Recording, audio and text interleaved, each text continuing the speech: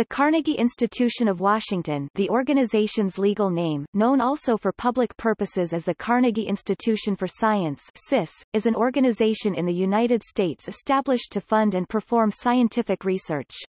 The institution is headquartered in Washington, D.C.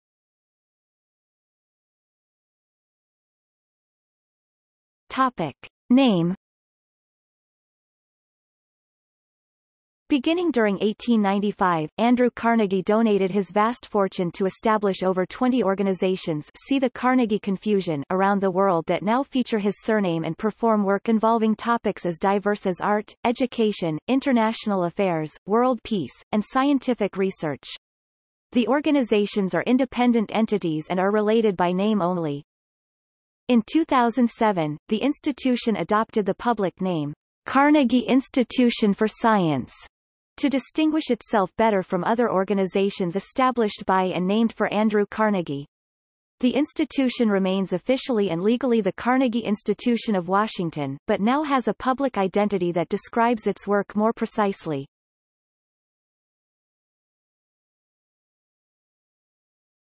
Topic. History It is proposed to found in the city of Washington, an institution which, shall in the broadest and most liberal manner encourage investigation, research, and discovery and show the application of knowledge to the improvement of mankind. Andrew Carnegie, January 28, 1902 Beginning during 1895, Andrew Carnegie contributed his vast fortune toward the establishment of 22 organizations that presently feature his surname and perform work in such topics as art, education, international affairs, peace, and scientific research. During 1901, Andrew Carnegie retired from business to begin his career in philanthropy. Among his new enterprises, he considered establishing a national university in Washington, D.C., similar to the great centers of learning in Europe. Because he was concerned that a new university could weaken existing universities, he opted for an independent research organization that would increase basic scientific knowledge. Carnegie communicated with President Theodore Roosevelt and declared his readiness to endow the new institution with $10 million. He added $2 million more to the endowment during 1907, and another $10 million during 1911. By some estimates, the value of his endowment in current terms was $500 million. As ex officio members of the first Board of Trustees, Carnegie chose the President of the United States, the President of the Senate, the Speaker of the House of Representatives, the Secretary of the Smithsonian Institution and the President of the National Academy of Sciences. In all, he selected 27 men for the institution's original board. Their first meeting was held in the office of the Secretary of State on January 29, 1902, and Daniel Coit Gilman, who had been president of Johns Hopkins University, was elected president.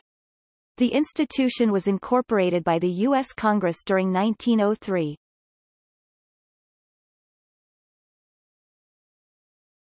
Topic. Early grants Initially, the president and trustees devoted much of the institution's budget to individual grants for various topics, including astronomy, anthropology, literature, economics, history and mathematics.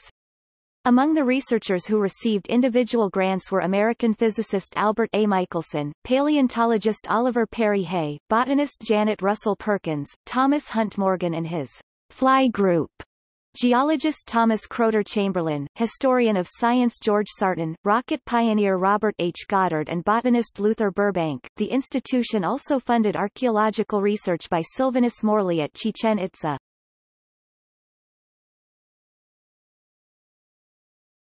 Topic. Research of special note As directed by Robert Woodward, who became president during 1904, the board changed its practice, deciding to provide major funding to departments of research rather than to individuals. This allowed them to concentrate on fewer topics and fund groups of researchers in related areas over many years. Starting in 1907 the institution maintained the Tortugas Laboratory on Garden Key, Florida today Fort Jefferson National Monument, under the direction of Alfred G. Mayer. Since the beginning, the Carnegie Institution has often made discoveries but left the development to others. This philosophy has resulted in unexpected results, including the development of hybrid corn, radar, the technology that led to Pyrex-registered glass, and novel techniques to control genes known as RNA interference. Some of Carnegie's researchers from the early and middle years of the 20th century are well known, Edwin Hubble, who revolutionized astronomy with his discovery that the universe is expanding and that there are galaxies other than our own Milky Way Charles Richter, who created the earthquake measurement scale, Barbara McClintock, who won the Nobel Prize for her early work on patterns of genetic inheritance, Alfred Hershey, who won the Nobel Prize for determining that DNA, not protein, harbors the genetic recipe for life, Vera Rubin, who was awarded the Presidential Medal of Science for her work confirming the existence of dark matter in the universe, and Andrew Who with colleagues elsewhere researched RNA interference, for which he shared a Nobel Prize during 2006.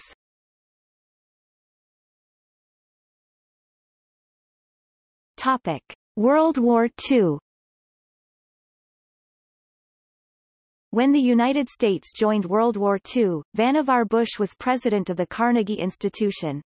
Several months before, on June 12, 1940, Bush had been instrumental in persuading President Franklin Roosevelt to create the National Defense Research Committee later superseded by the Office of Scientific Research and Development to mobilize and coordinate the nation's scientific war effort. Bush quickly housed the new agency in the Carnegie Institution's administrative headquarters at 16th and P Streets, NW, in Washington, D.C., converting its great rotunda and auditorium into office cubicles. From this location, Bush supervised, among many other projects, the Manhattan Project. Further, Carnegie scientists cooperated with the development of the proximity fuse and mass production of penicillin.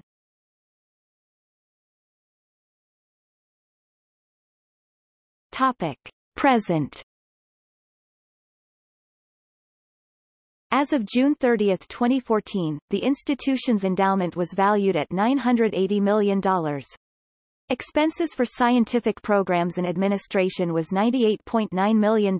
As of January 1, 2018, Carnegie Observatories Director John Mulchaey and Carnegie Embryology Director Yixian Zheng jointly serve as interim co-presidents following the retirement of Matthew P. Scott.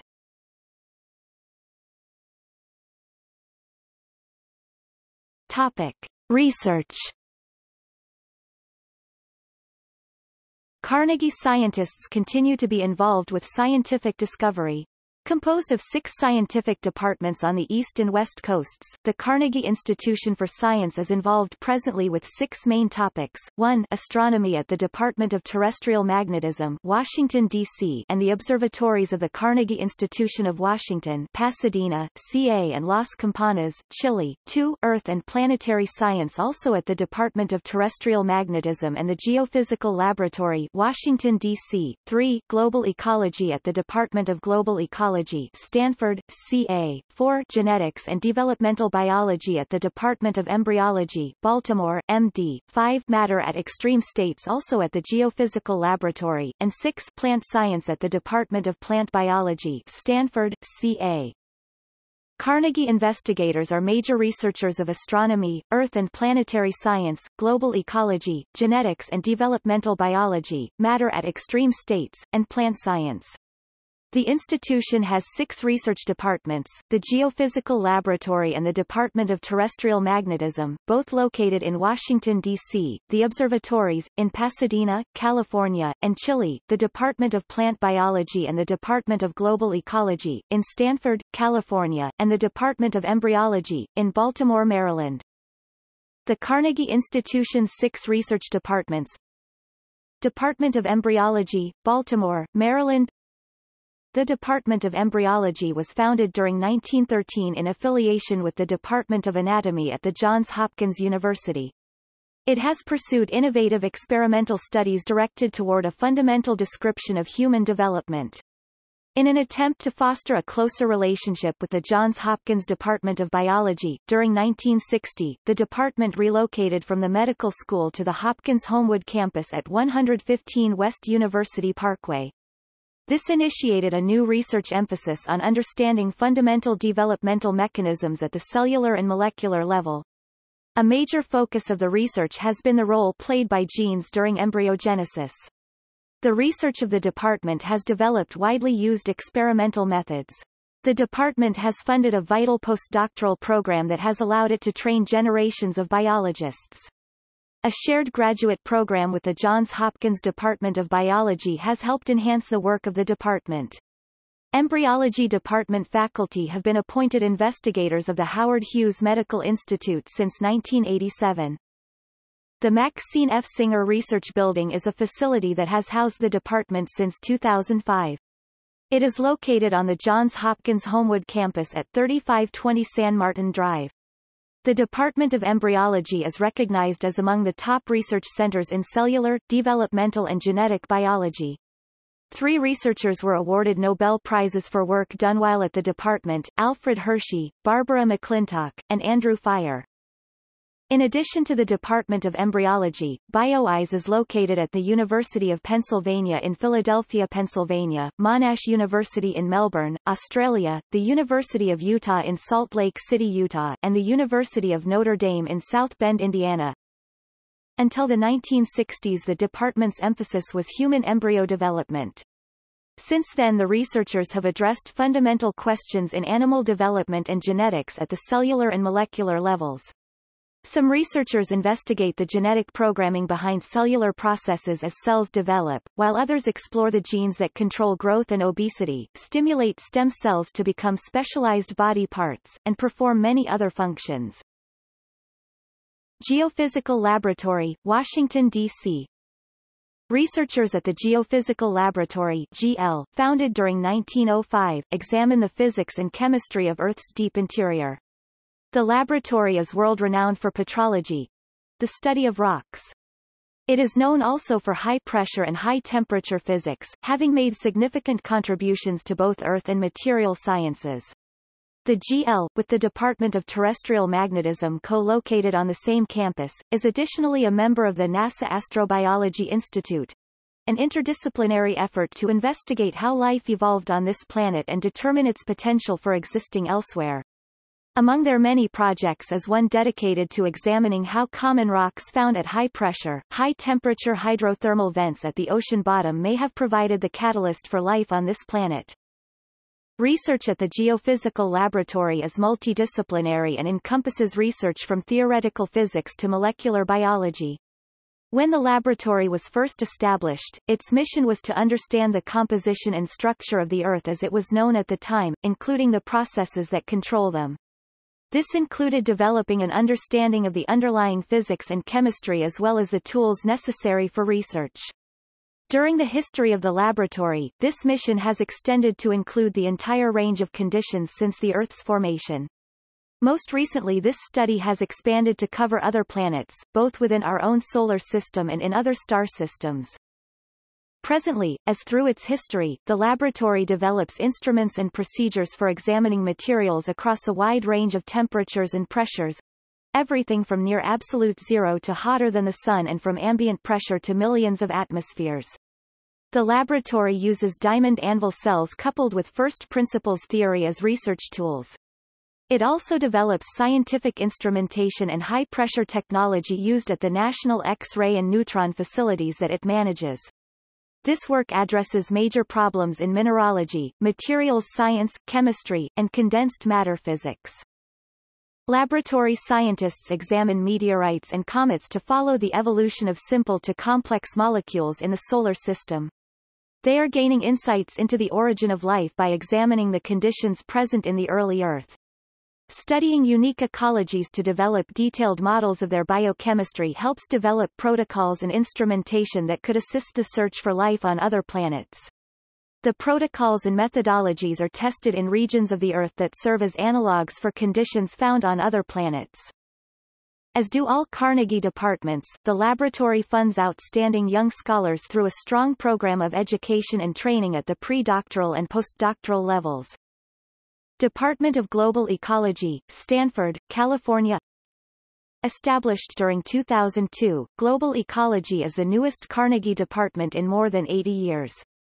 Using innovative methods, these researchers are researching the complicated interactions of Earth's land, atmosphere, and oceans to understand how global systems operate. With a wide range of instruments, From satellites to the instruments of molecular biology, these scientists explore issues such as the global carbon cycle, the role of land and oceanic ecosystems in regulating climate, the interaction of biological diversity with ecosystem function, and much more. These ecologists also play an active role in the public arena, from giving congressional testimony to promoting satellite imagery for the discovery of environmental hotspots. During 2007, former department director Chris Field was among the 25 scientists who accepted the Nobel Peace Prize on behalf of the IPCC, which shared the award with former Vice President Al Gore, Department of Plant Biology, Stanford, California. The Department of Plant Biology began as a desert laboratory during 1903 to study plants in their natural habitats. Over time the research evolved to the study of photosynthesis. Presently, using molecular genetics and related methods, these biologists study the genes responsible for plant responses to light and the genetic controls over various growth and developmental processes including those that enable plants to survive disease and environmental stress. Additionally, the department is a developer of bioinformatics. It developed an online integrated database, the Arabidopsis Information Resource TAIR, that supplies all aspects of biological information on the most widely used model plant, Arabidopsis thaliana. The department uses advanced genetic and genomic methods to study the biochemical and physiological basis of the regulation of photosynthesis and has pioneered methods that use genetic sequencing to systematically characterize unstudied genes.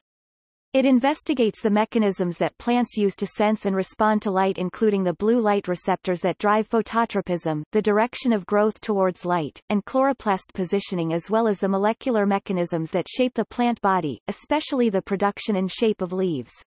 It also examines life in extreme environments by studying communities of photosynthetic microbes that live in hot springs. Department of Terrestrial Magnetism, Washington, D.C.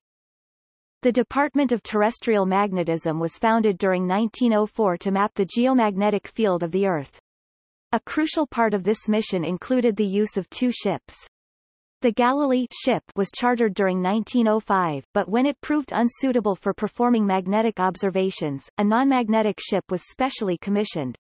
The Carnegie ship was built during 1909 and completed seven cruises to measure the Earth's magnetic field before it suffered an explosion and burned. Its captain was J. P. Ault.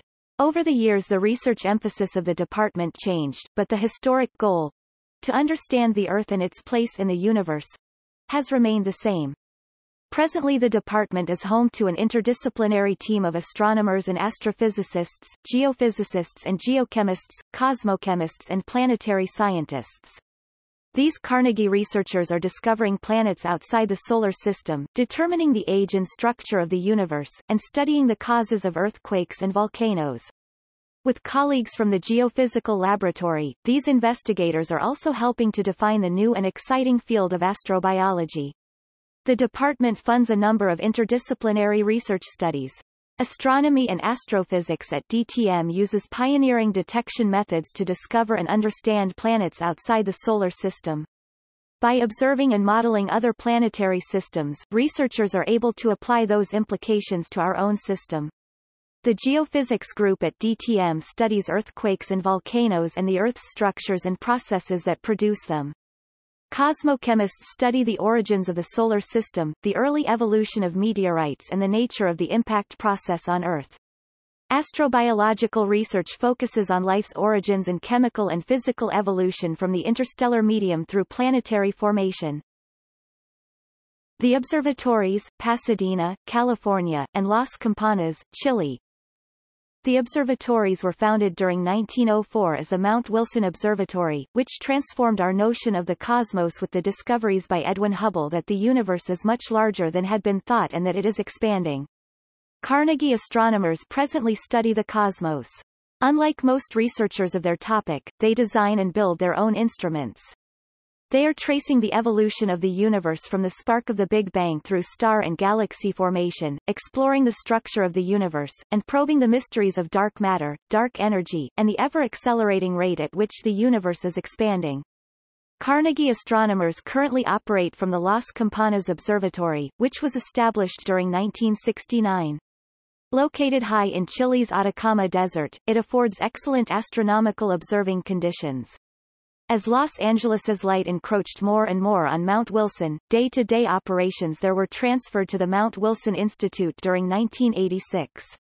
The newest additions at Las Campanas, twin 6.5-meter reflectors, are remarkable members of the latest generation of giant telescopes. The Carnegie Institution is currently partnered with several other organizations in constructing the Giant Magellan Telescope.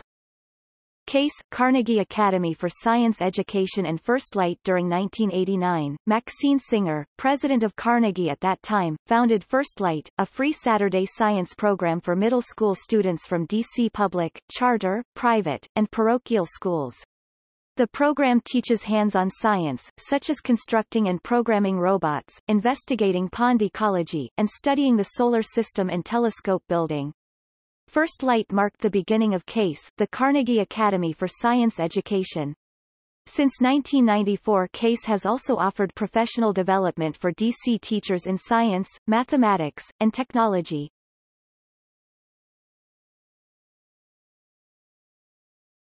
Topic. Administration The Carnegie Institution's administrative offices are located at 1530 P Street, Northwest Washington, D.C., at the corner of 16th and P Streets. The building houses the offices of the President, Administration and Finance, Publications, and Advancement.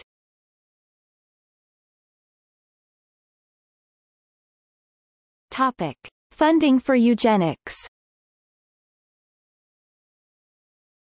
During 1920 the Eugenics Record Office, founded by Charles Davenport during 1910 in Cold Spring Harbor, New York, was merged with the Station for Experimental Evolution to become the Carnegie Institution's Department of Genetics. The institution funded that laboratory until 1939. It employed such anthropologists as Morris Steggerda, who collaborated closely with Davenport. The Carnegie Institution ceased its support of eugenics research and closed the department during 1944. The department's records were retained in a university library. The Carnegie Institution continues its funding for legitimate genetic research. Among its notable staff members of that topic are Nobel laureates Andrew Fire, Alfred Hershey, and Barbara McClintock.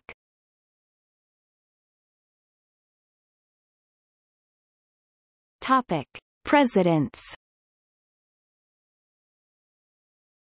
Daniel Coit Gilman 1902 to 1904 Robert S. Woodward 1904 to 1920 John C. Merriam 1921 to 1938 Vannevar Bush 1939 to 1955 Caryl P. Haskins 1956 to 1971 Philip Abelson 1971 to 1978 James D. Ebert 1978-1987 Edward E. David, Jr. Acting President, 1987-1988 Maxine F. Singer 1989-2002 Michael E. Gellert Acting President, Jan. April 2003 Richard A. Meserve April 2003 to September 2014 Matthew P. Scott September 1, 2014 to December 31, 2017 John Mulchaey and Yixian Zheng interim co-presidents January 1, 2018 to June 30, 2018